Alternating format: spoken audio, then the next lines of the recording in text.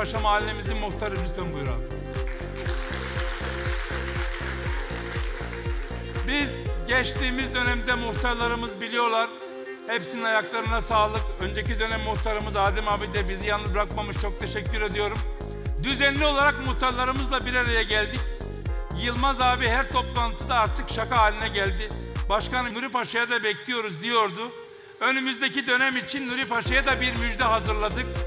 Burası şu anda Verem Savaş Dispanserinin olduğu yer. Zeytinburnu bilen herkes biliyor orayı. Önümüzdeki dönemde önümüzdeki dönemde oraya bir semt konağı yapacağız.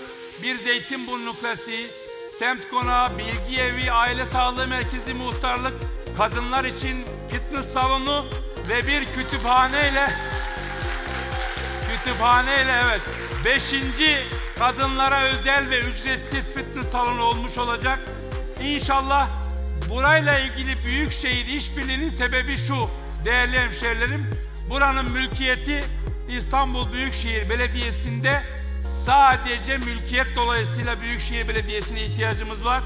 Bu da gördüğünüz projenin fotoğrafı Nuri Paşa'mıza da bir semt konağını nihayet kazandırmak bize nasip olacak. Sizlerin desteğiyle.